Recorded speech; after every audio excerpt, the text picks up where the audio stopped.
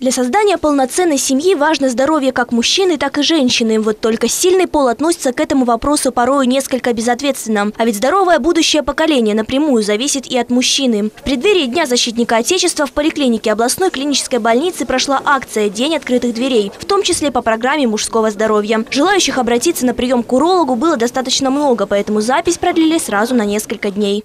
В настоящее время большое внимание уделяется репродуктивному здоровью мужчин, созданию здоровой семьи, а это в равной степени зависит э, как от женского здоровья, так и от мужского. Здоровье всех пациентов в этот день можно было проверить еще и с помощью областного агитпоезда за здоровый образ жизни и здоровую счастливую семью. За два часа работы к медикам обратилось более 20 человек, чтобы проверить сердце, легкие, кровь, сосуды и зрение. После обследования пациенты получили полную консультацию и направление уже к другим специалистам.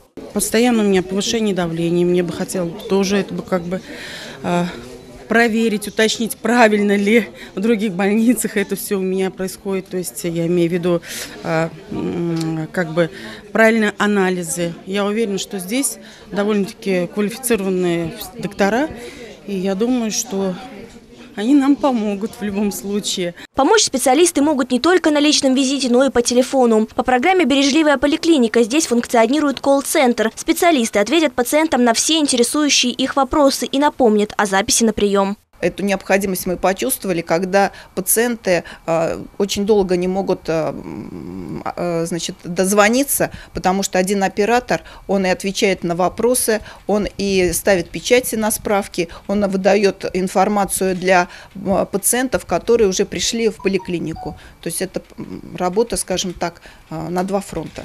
Весомую роль в лечебном учреждении имеет и комфортное нахождение в этих стенах. Теперь в поликлинике областной клинической больницы в детском уголке появилась новая мебель. Очень приятно, что ульяновский бизнес э, откликнулся на нашу просьбу. И то, что вот сегодня сделал первый шаг, помог нам э, приобрести детскую мебель для удобства э, наших пациентов, потому что часто к нам приезжают села, в том числе и со своими детьми, со своими внуками.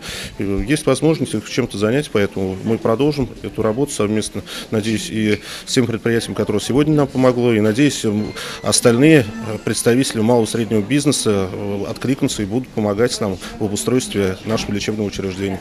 Но несмотря на крепкое здоровье, молодые и успешные семьи сегодня не торопятся заводить детей. К сожалению, в стране снижается процент рождаемости. Рост многодетных семей – одно из важнейших направлений в вопросах демографии. Эту тему обсудили за круглым столом представители медицины, духовенства и многодетные родители. Кристина Жакот, Руслан Баталов, Новости Ульяновской правды.